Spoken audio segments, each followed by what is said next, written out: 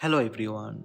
Today I would like to show you all how to view and share Instagram Playback 2021 in your Instagram story. Let's have a look.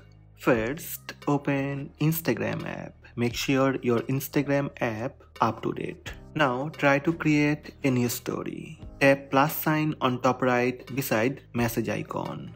Tap story button from bottom menu. This will open the Instagram story camera you can capture or upload a photo from gallery. Select the photo from your photo gallery. Tap the stickers icon at the top of the screen. Tap the 2021 playback sticker.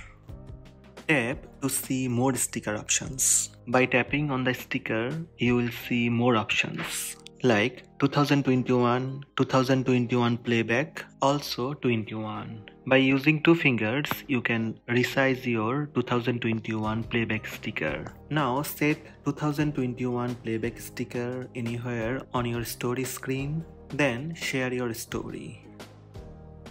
When your story with 2021 playback sticker shared, tap your story from top left side. Tap once on 2021 playback sticker. This will open View your 2021 playback. 2021 to help you look back on your special moments this year. We created a playback from your 2021 stories. You can choose to add or remove stories before sharing. Tap View Playback.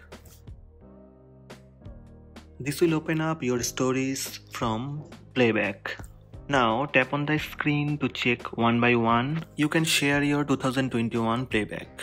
You can edit your playback by adding or removing stickers, using stickers and more. Tap next. Your playback sticker will be look like this frame. You can add or remove stories from this sequence. By tap plus button you can add more sticker. To remove any story from this shared list, just uncheck one.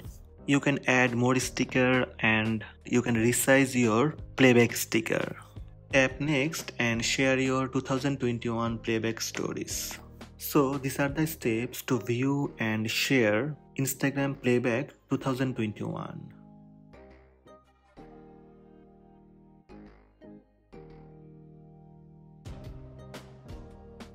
Hope this video help you. Please subscribe my channel by tap subscribe button.